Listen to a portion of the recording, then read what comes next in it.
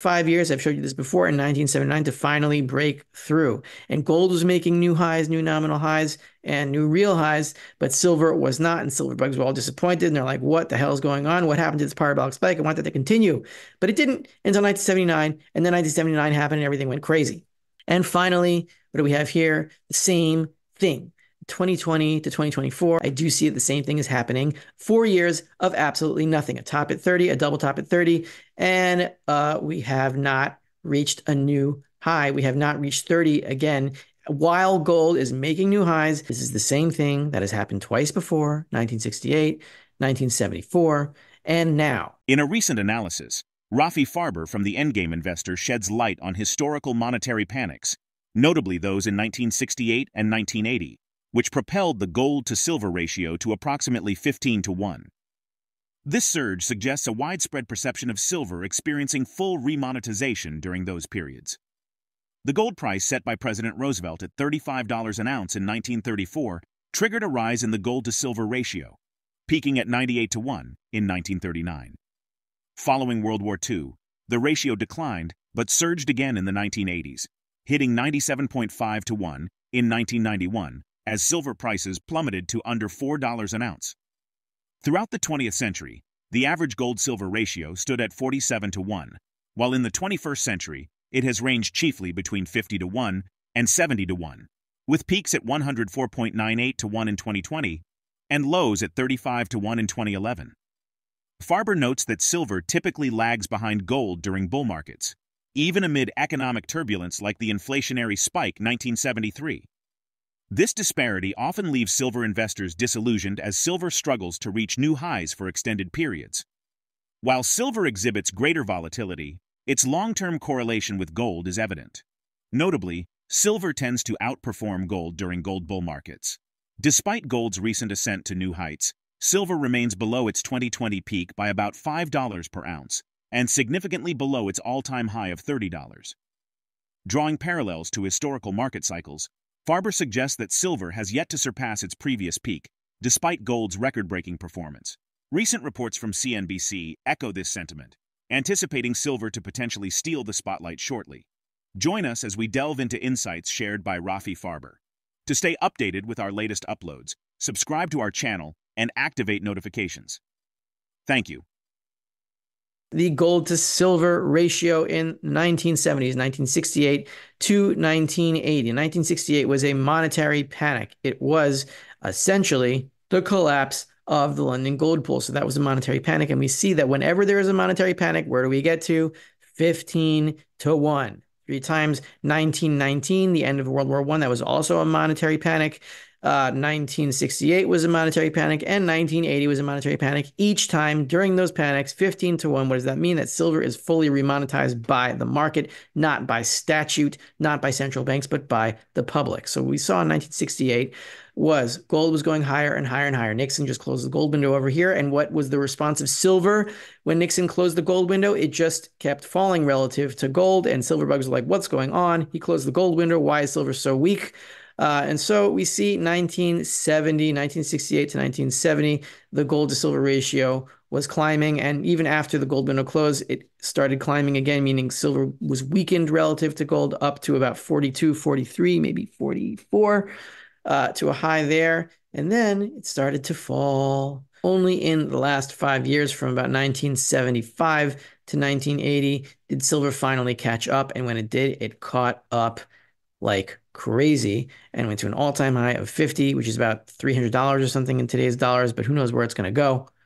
My point is that this has happened before. Silver has lagged gold during periods of bull market movement, and I'll show you more of this in the slides ahead. What tends to happen is that silver does nothing for about five years until it makes a parabolic spike. We see here the uh, the chart from 1968 to 1973, and you should remember, even if you weren't alive, that 1973 was a year of inflationary major panic. If you look at the CPI charts going back to 1973, especially, that was the oil embargo, that was the breakout, the outbreak of the Yom Kippur War.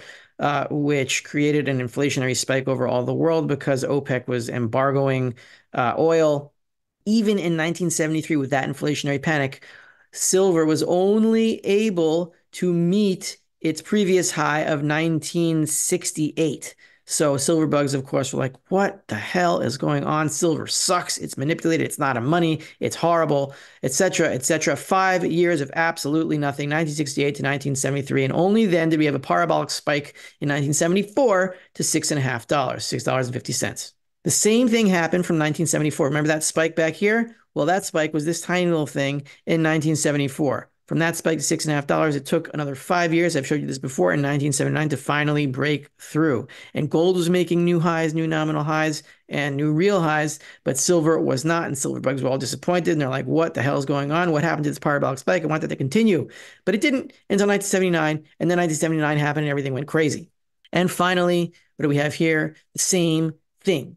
2020 to 2024. I can't show you the rest of this chart because it doesn't exist yet, not in this temporal universe. And I'm not a Navi, I'm not a prophet, so I can't tell you exactly when it's going to happen. But I do see the same thing is happening again. Four years of absolutely nothing. A top at 30, a double top at 30, and uh, we have not reached a new high. We have not reached 30 again. While gold is making new highs, this is the same thing that has happened twice before 1968, 1974, and now. In a comprehensive analysis, Farber delves into Argentina's central bank strategy of offsetting printed money through interest payments on reserves, cautioning that such interest ultimately seeps into the economy, fueling inflation. Drawing parallels, Farber suggests that heightened interest rates in the U.S. could exacerbate inflationary pressures. Meanwhile, Federal Reserve officials have articulated their position, emphasizing their need for greater confidence in inflation's trajectory towards the central bank's 2% annual target before contemplating a rate reduction. Despite February's inflation rate dropping to 3.2% from its peak of 9.1% in June 2022, according to the Consumer Price Index, there remains hesitancy due to unexpectedly high consumer price hikes in January and February.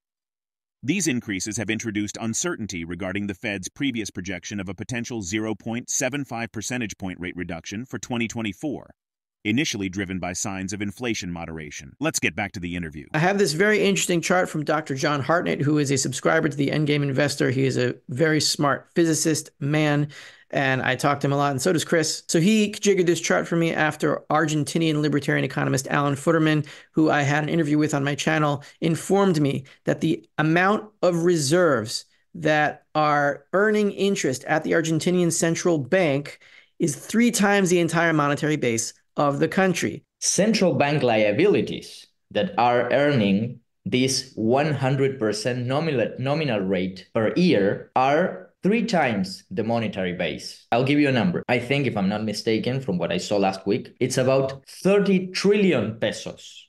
And so what the central bank is doing is trying to sterilize all the money it's printing by paying interest, and that interest goes out into the economy, into the monetary system anyway, which makes prices higher, and there's nothing they can do to stop it. So this is the point where higher interest rates actually feed into higher inflation, which is, I think, the point that we are getting to in the United States as well. So here you see the blue line. This is the amount of reserves earning interest at the Fed. Forget the other line for now. This is the reserves plus the reserve reverse repos that are earning interest at the Fed. And this is the percentage of the monetary base. So here we had a maximum here of about 110% of the monetary base earning reserves at the Fed. In Argentina, it's 300%. It's going down now because the reverse repos are declining, but during the next printing round, this number is going to go way up. And we saw during the 2020 printing round, it went from about 60, 58%, something like that, to 110%. So this time it will probably go up to something like 200%, maybe more. And if it really gets out of control, it'll go to 300%. We'll be in the same place as Argentina, at least in terms of the amount of liabilities earning interest at the central bank. Gold futures is now up about 140,000 contracts. So this chart here is from Gold Charts R Us. And it shows here the open interest. I drew a line where we are now at about 541,000 or 539,000, somewhere around there. Uh, so we draw a line here and it brings us all the way back to the last time we were at this number, which was July of 2022. And what was happening at that point? I'm not necessarily saying this is going to happen again right now, but there is always a potential for a short squeeze. There was a minor one here. And how do you know it was a short squeeze? Because open interest was falling in the face of a rising gold price. And what this showed to me is that we were very near the bottom over here, which was around 1700. And the bottom happened to be at 1618 or 1610 about two months later. So close to the bottom, not quite the bottom, but it did signal that the bottom was close. So this was a short squeeze because here you see the green lines? Are they green? The green lines were falling from about 540,000 in open interest to about 450,000 and as those contracts were closing the price was rising. This wasn't a crazy short squeeze like we're seeing in chocolate right now or cocoa. We're seeing a major short squeeze in cocoa. Uh, that's probably also because of physical reasons. There is a shortage of cocoa and people want chocolate because they're depressed and they uh, you know they want more chocolate. I understand that. I don't know anything about chocolate markets but uh, you know i want to try those fruits and uh, have some actual chocolate fruit. What do they call those things?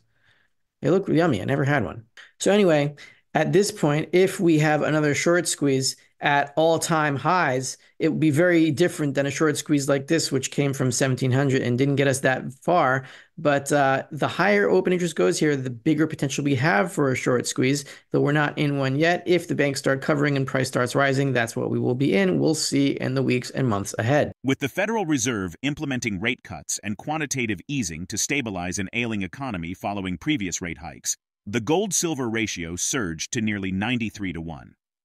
However, as both gold and silver experienced a rally, the ratio dropped sharply from over 100 to 1 to just above 64 to 1, approaching the upper limit of its historical range. Marcus Garvey, Macquarie's head of commodity strategy, sees the expectation of rate cuts as propelling gold and silver, describing it as risk positive for both precious metals. How could the Federal Reserve's cautious stance on rate cuts affect inflation and the prospects for gold and silver? Share your thoughts in the comment section. If the video resonates with you, join our community by subscribing to our channel and enabling notifications with the bell icon. Thank you for being a part of our community.